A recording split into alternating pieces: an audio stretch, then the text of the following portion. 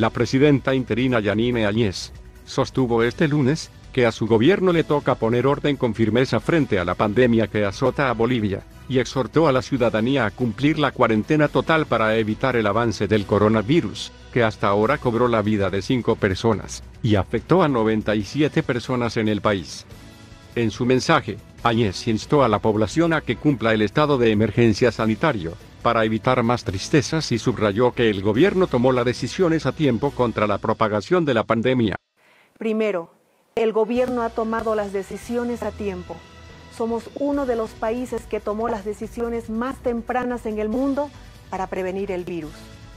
Por ejemplo, el 12 de marzo cerramos escuelas, suspendimos vuelos y declaramos una cuarentena antes que la mayoría de nuestros vecinos y antes que muchas potencias mundiales. Segundo, hemos lanzado cinco ayudas para las familias. El bono familia de 500 bolivianos que se pagará en los próximos días, la canasta familiar que ayudará a las familias de menos recursos, la rebaja de las facturas de luz y de agua, la bajada de impuestos, la suspensión del pago de créditos. Tercero, impulsamos, a pesar de las graves limitaciones en el sistema de salud que heredamos, la compra rápida de equipos y nueva tecnología contra el virus. Por ejemplo, compramos 500 respiradores para todo el país, una compra nunca hecha antes en la historia de Bolivia. A la vez, compramos grandes cantidades de equipamiento para proteger al personal que trabaja en hospitales y otros centros médicos. Áñez fue directa y afirmó que Bolivia enfrenta a un virus realmente peligroso y que seguirá llevándose más vidas si no se cumple la cuarentena. En primer lugar, y como saben, el virus ya entró al país. En segundo lugar, el virus ya se ha llevado vidas de bolivianos en nuestro territorio.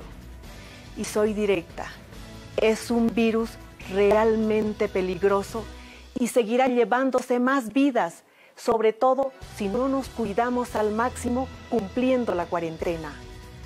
Comparto el dolor profundo de las familias que han perdido a sus seres queridos.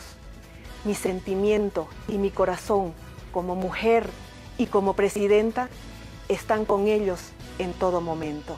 Siendo realistas, la mandataria aseguró que se vienen situaciones complicadas en el país por la expansión del coronavirus, pero también aseguró que se logrará salir de la pandemia si acatamos la cuarentena de manera disciplinada.